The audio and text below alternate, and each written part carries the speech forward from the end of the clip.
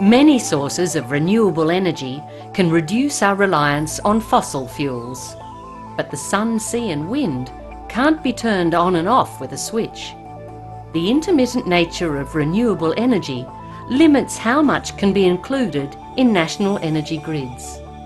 But things are about to change. Researchers from the University of New South Wales are converging in a new holistic energy research centre. Their common goal is to ramp up the use of sustainable energy in power grids across the country.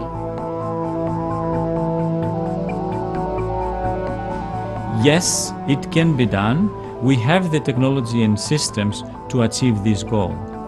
University of New South Wales researchers envision Australia with a truly sustainable energy infrastructure in the future.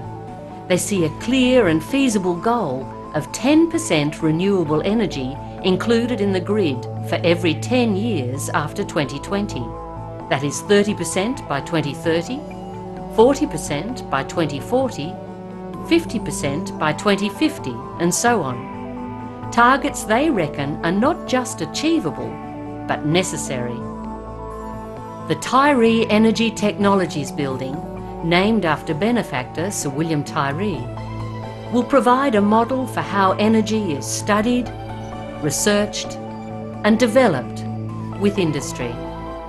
I would really like to feel that this new building is going to attract a higher class of students wanting to do power engineering for which we have been really starved over the past for not having modern technology to help and influence young students to come to the university.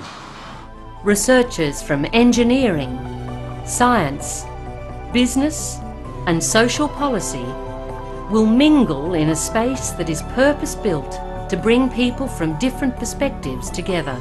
The guiding principles behind the Tyree Energy Technologies building are not just about renewables, but also about fossil fuels. And it's an understanding of this mix between the two that's really going to be important in the future. In order to make this research successful, we need not only a deep understanding of the technologies, but also how they link through economics through to future energy policy. When we have this understanding, then it will make this research preeminent worldwide in future energy requirements.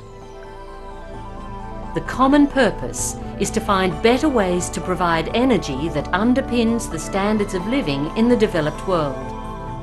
And to provide energy for the billion plus people in the developing world who are still without electricity. We have not addressed the energy issue in a holistic way yet. Australia is blessed with renewable energy resources that include wind, solar, geothermal, waves, but we have to think of it not from the generation point of view, but from the system point of view, how it is integrated into the system in a more coordinated way. Researchers will be working towards the delivery of a smart grid. Energy from a variety of sources would be stored, guaranteeing that all-important continuous supply. It's rather like the Tyree Energy Technologies building itself. Solar energy from the rooftop will be stored in a vanadium redox battery for those periods when solar power can't be generated. Both the panels and battery are University of New South Wales inventions. The vision behind the Tyree Energy Technologies building is to become a living research laboratory. The research teams will be working closely with industry to ensure that whatever happens in this living lab will eventually make it to our living rooms.